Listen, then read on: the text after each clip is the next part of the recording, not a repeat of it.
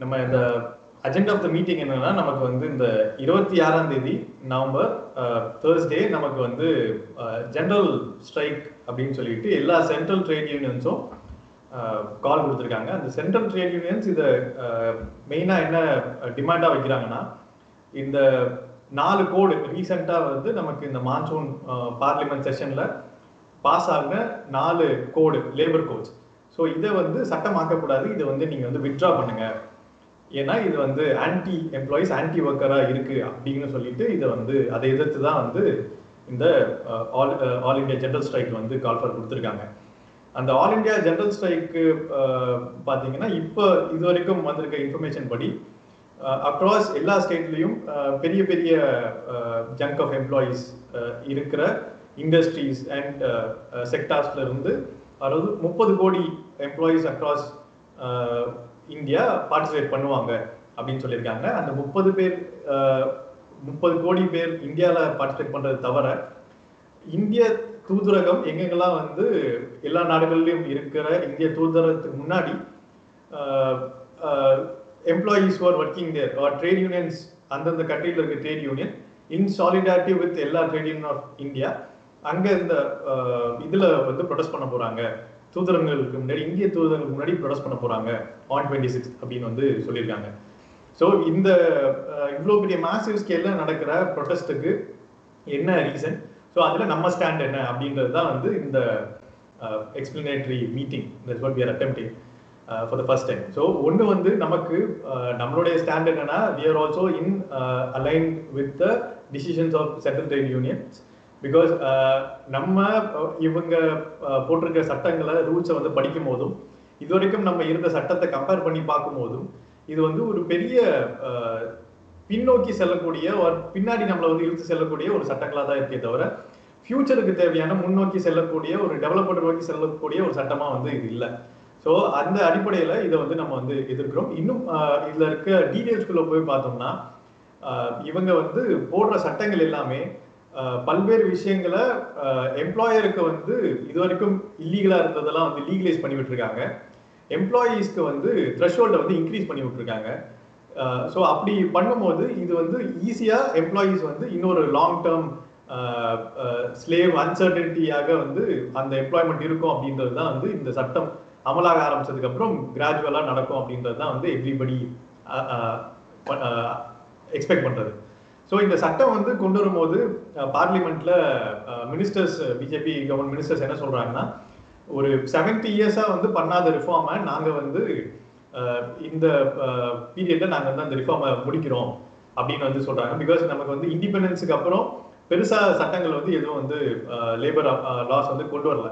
So நமக்கு வந்து industrial dispute act nineteen twenty six அது நம்ம அதுக்கு முன்னாடி வந்து nineteen forty three forty six forty seven so இந்த இயர்ல போடப்பட்ட பல்வேறு சட்டங்கள் தான் வந்து நமக்கு வந்து இப்போவும் வந்து அமலாகி இருக்கு. ஸோ அதுக்கப்புறம் வந்து நம்ம டுவெண்ட்டி டுவெண்ட்டி ஒன்ல இருக்கும் அது இடைப்பட்டதுல பெருசா வந்து சட்டங்கள் போடல அமெண்ட்மெண்ட்ஸ் மட்டும் தான் பண்ணிட்டு இருந்தாங்க. ஸோ அதை கம்ப்ளீட்டா தூக்கி போடணும் அப்படின்றது தான் வந்து தூக்கி போட்டு ஃப்ரெஷ்ஷா கொண்டு வரணும். To cater needs of future அப்படின்றது தான் வந்து இவங்களுடைய இனிஷியல் சேவா இருந்துச்சு. பட் உள்ளுக்குள்ள போகும்போது இது எல்லாமே வந்து இருக்கிறத எம்ப்ளாயிஸ்க்கு மேஜரா வந்து அப்படியே மெயின்டைன் பண்ணிட்டு லாஸ்ட் செவன் இயர்ஸ்க்கு முன்னாடி என்ன இருந்துச்சோ செவன் இயர்ஸா என்ன இருந்துச்சோ அதே வந்து மெஜாரிட்டி மெயின்டைன் பண்றாங்க. பண்ணிட்டு த்ரெஷோல்ஸை வந்து எம்ப்ளாயிஸ்க்கு தேவையான த்ரெஷோல்ஸை வந்து இன்க்ரீஸ் பண்ணி விட்டுறாங்க. ஸோ தட் நமக்கு வந்து இன்னும் ஒரு பெரிய செவரை தாண்டினா தான் நம்மளால அங்க போய் அந்த ரைட்டை வந்து நம்மளால வாங்க முடியும் அப்படின்ற ஒரு பாயிண்ட் கொண்டு வராங்க. அதை தாண்டி எம்ப்ளாயீஸ்க்கு அந்த செவரே இல்லாம வந்து பண்ணிட்டாங்க. ஸோ அவங்களுக்கு வந்து எந்த ஒரு தடையுமே இல்லை. அவங்க நினைச்சா லே ஆஃப் பண்ணலாம் நினைச்சா வந்து அவங்களுக்கு தேவையான நோட்டிபிகேஷன்ஸ் கொடுத்து அதை லீகலைஸ் பண்ணிடலாம். ஸோ அப்படியான சட்டங்கள் வந்து கொண்டு வர்றது நமக்கு வந்து ஒரு ஃபியூச்சர் பெர்ஸ்பெக்டிவ்ல நமக்கு வந்து எந்த விதமான பிரோஜனமும் இருக்காது அப்படின்றது தான் வந்து முக்கியமான பெர்ஸ்பெக்டிவ் ஸோ இதில் வந்து நாலு கோடு வந்து இருக்கு. Industrial relationship code occupational health and safety அதுக்கப்புறம் வந்து சோஷியல் செக்யூரிட்டி அதுக்கப்புறம் வேஜ் கோடு ஸோ இதில் நமக்கு வந்து ஆக்குபேஷன் இது நாலுலேயும் வந்து ஹைலைட்ஸ் மட்டும் நான் வந்து சொல்கிறேன் ஆக்குபேஷனல் சாரி இந்த வேஜ் கோடு வந்து நம்ம வந்து லாஸ்ட் நவம்பரில் நம்ம வந்து sorry I think September end and October பிகினிங்கில் நம்ம வந்து கவர்மெண்ட்டுக்கு வந்து ரெஸ்பான்ஸ் கொடுத்துருக்கோம். அவங்க ரிலீஸ் பண்ண பப்ளிக் டாக்குமெண்ட்டில் ஸோ அந்த வேஜ் கோடில் என்ன சொல்கிறாங்கன்னா நமக்கு வந்து மினிமம் வேஜ் அப்படின்றதெல்லாம் வந்து கவர்மெண்ட் வந்து செட் பண்ணாது. அதாவது பார்லிமெண்ட் வந்து செட் பண்ணாது. இதுக்கு முன்னாடி அப்படி பண்ணிட்டு இருந்துச்சு. பார்லிமெண்ட்ல இருக்கிற ministers along with trade unions அதை வந்து செட் பண்ணுவாங்க.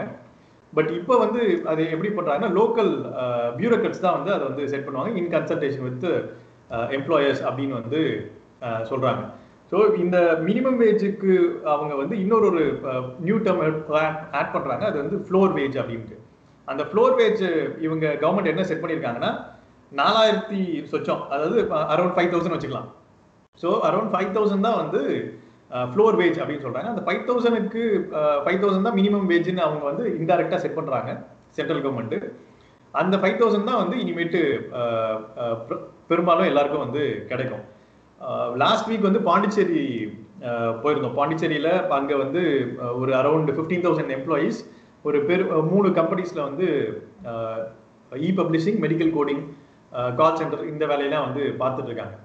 ஸோ அவங்களுக்கு வந்து அந்த என்ன பிரச்சனைகள்னு கேட்கும்போது அவங்க மெயினாக சொன்னது அங்கே இருக்கிற ரூரல் பேக்ரவுண்ட்லேருந்து பாலிடெக்னிக் படித்த பசங்க அந்த மாதிரி வந்து அங்கே வந்து எம்ப்ளாய் பண்ணுறாங்க அவங்களுக்கு வந்து கொடுக்குற சம்பளம் வந்து ஸ்டார்டிங் சேலரி மூவாயிரத்தி ஐநூறுரூவா மாதத்துக்கு ஸோ அந்த மூவாயிரத்தி ஐநூறுரூவா காசை வச்சுக்கிட்டு அவங்க வந்து அங்கே வேலை செய்ய வேண்டியது இருக்குது வித் லாட் ஆஃப் ப்ரெஷர் அவங்களுக்கு வந்து டார்கெட்ஸ் ஹையாக இருக்கும். அந்த டார்ச்சரில் ஒரு டீசென்ட் ஒர்க்கிங் கண்டிஷனே கிடையாது. எப்போவுமே திட்டிகிட்டே இருப்பாங்க அசிங்கப்படுத்திக்கிட்டே இருப்பாங்க. ஸோ அப்படியான கண்டிஷனில் அவங்க வேலை செய்யணும்.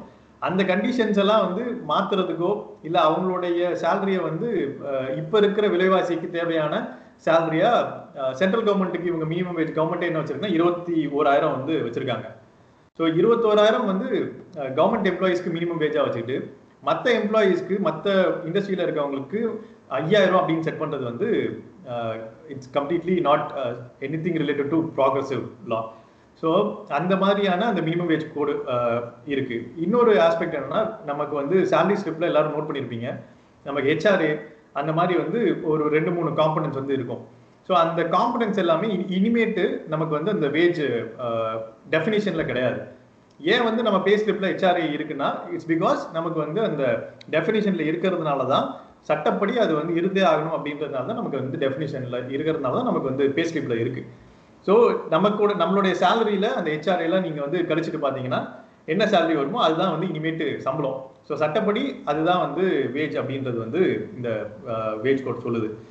ஸோ அதே மாதிரி இண்டஸ்ட்ரியல் ரிலேஷன்ஷிப் கோட்ல பார்த்தீங்கன்னா நமக்கு வந்து இது நாள் வரைக்கும் நமக்கு வந்து முந்நூறு எம்ப்ளாயி நூறு எம்ப்ளாயீஸ்க்கு மேலே இருந்தால் ரிட்ரன்ச்மெண்ட் வந்து இல்லீகல் ஸோ ரிட்ரன்ச்மெண்ட்டோ லே ஆஃபோ இதெல்லாமே வந்து சட்டப்படி ஒரு ப்ராசஸை கொண்டு போய் தான் வந்து பண்ணணும் அப்படின்னு வந்து சொல்லியிருந்தாங்க. அந்த அடிப்படையில் தான் நம்ம வந்து பல்வேறு கேசஸ் போட்டு எம்என்சிஸ் வந்து ரிட்ரன்ச் பண்ணும்போது நம்ம வந்து சண்டை போட்டிருக்கோம். அது வந்து டு அன் எக்ஸ்டென்ட் நம்மளால வந்து காம்பன்சேஷன் வாங்கி தர முடிஞ்சிருக்கு. தடுத்து நிறுத்த முடிஞ்சிருக்கு சம் கேசஸ்ல ஆனா இப்போ வந்து இது வந்து மினிமம் வந்து முந்நூறு அப்படின்னு வந்து கொண்டு வந்துட்டாங்க.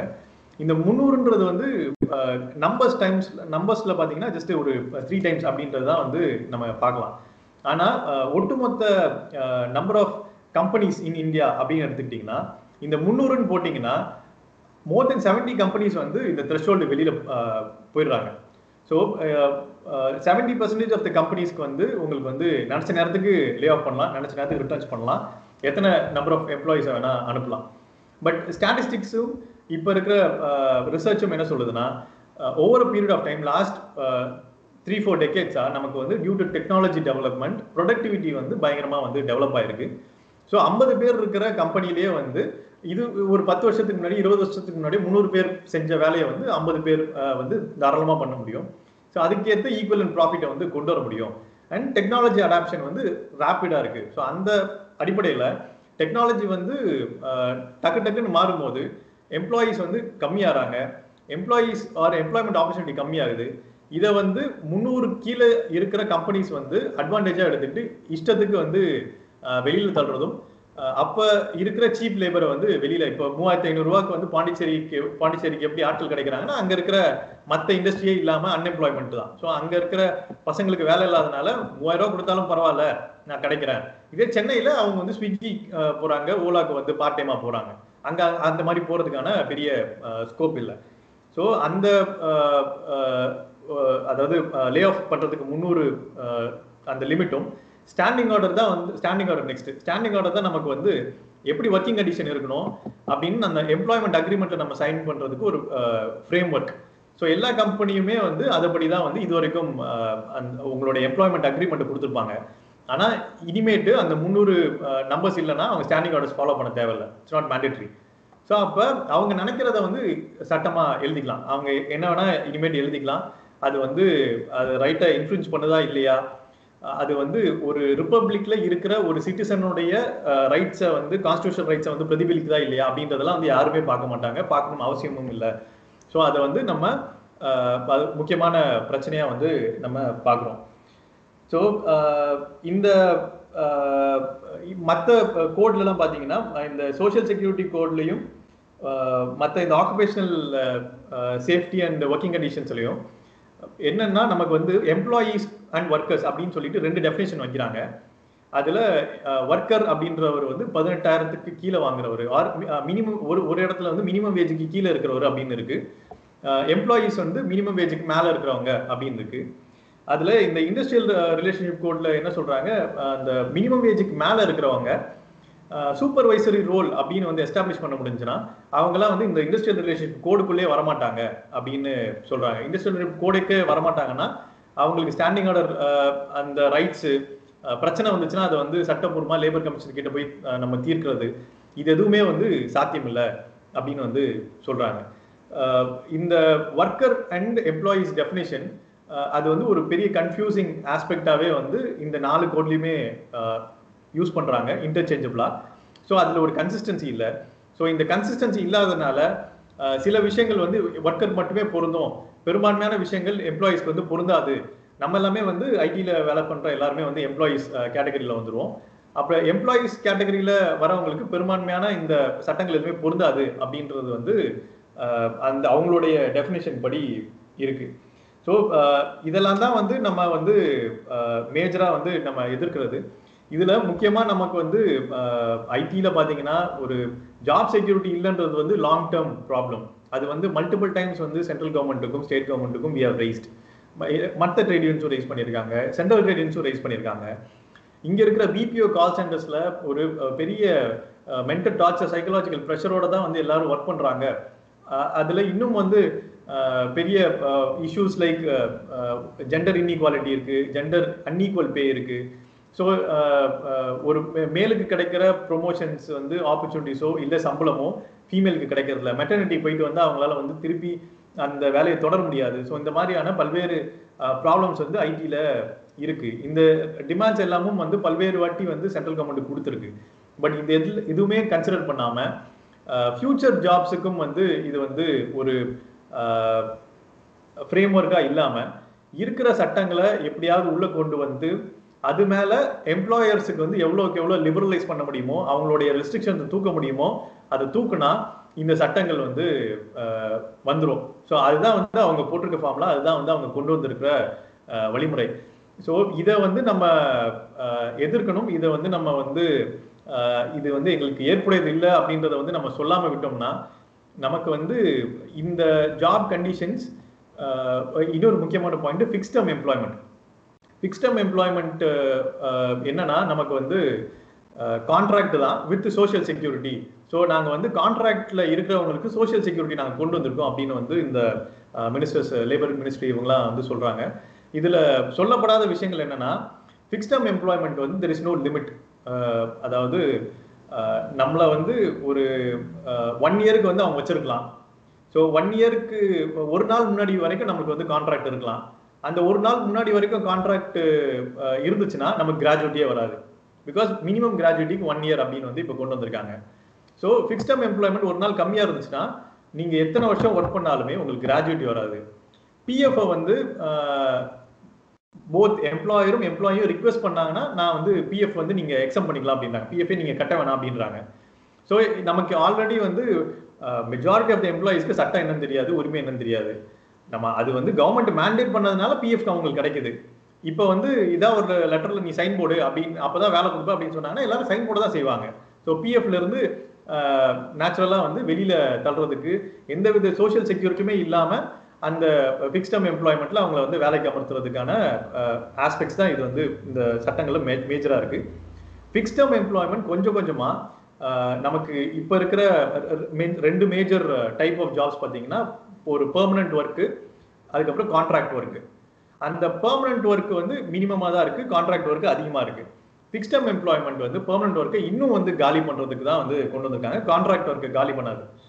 கான்ட்ராக்ட் ஒர்க்கு அப்படியே இருக்க போது ஃபிக்ஸ் டேர்ம் ஒர்க்கு கொஞ்சம் கொஞ்சமாக வந்து பெர்மனன்ட் ஒர்க்கில் வந்து சாப்பிட போகுது ஸோ எவ்ரி இயர் நம்ம வந்து மேனேஜரையோ எம்ப்ளாயரையோ ப்ளீஸ் பண்ணாதான் நம்ம வந்து அந்த வேலை கிடைக்கும்.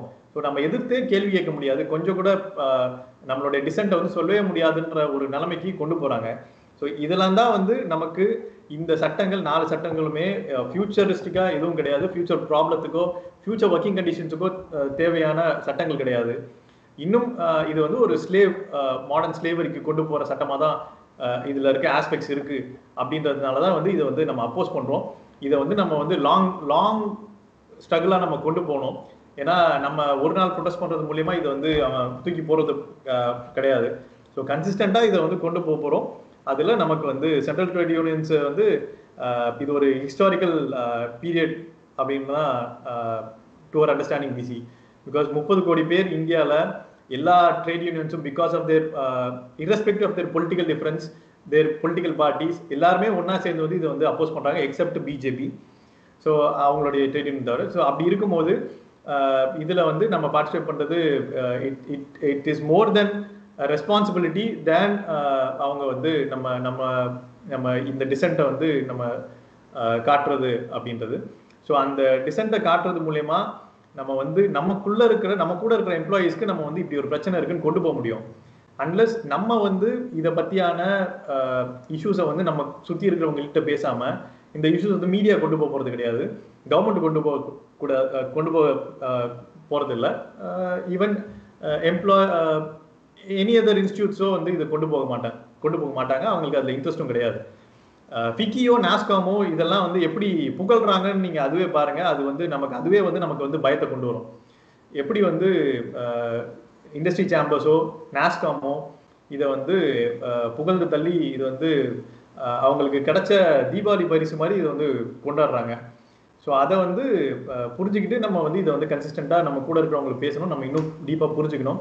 ஒன்று முந்நூறு பேஜ் டாக்குமெண்ட் அதை வந்து நம்ம சுருக்கி இம்பார்ட்டன்ட் பாயிண்ட்ஸ் ஹைலைட் பண்ணுறது முயற்சி பண்ணிட்டு இருக்கோம். ஸோ அது வந்து கூடிய சீக்கிரம் வி வில் சர்க்குலேட் ஸோ அந்த அடிப்படையில் நம்ம வந்து வர டுவெண்ட்டி சிக்ஸ்த்து சோஷியல் மீடியாவில் முடிஞ்ச அளவுக்கு நம்ம வந்து ஃபோட்டோஸ் அதாவது செல்ஃபி வித் டிமாண்ட்ஸ் நம்ம எடுத்து போடணும் அப்படின்றது வந்து வி ரிக்வெஸ்ட் ஸோ அந்த டிமாண்டை முடிஞ்ச அளவுக்கு உங்கள் கொலீக்ஸ் மத்தியில் உங்கள் ஃப்ரெண்ட் சர்க்கிளில் கொண்டு போங்க கொண்டு போய் மேக்ஸிமம் பீப்புளை வந்து ஃபோட்டோ போட சொல்லுங்கள் நமக்கு அந்த வித் டிமாண்ட்ஸு ஸோ தட் அவங்களுக்கு அவங்க ஆஃபீஸில் இருக்கிறவங்களுக்கு அவங்களுடைய ஃப்ரெண்ட் சர்க்கிளில் அது வந்து அது போய் சேரும். அவங்க ஏன் ஏன் பண்ணுறா அப்படின்னு கேட்பாங்க. That would be the reaction which we expect so எல்லாரும் நம்ம பேச ஆரம்பிக்கும் போது இதை பற்றி நம்ம படிக்கும் போது நம்ம வந்து இதில் இருக்கிற பிரச்சனைகளை தெரிஞ்சுப்போம்.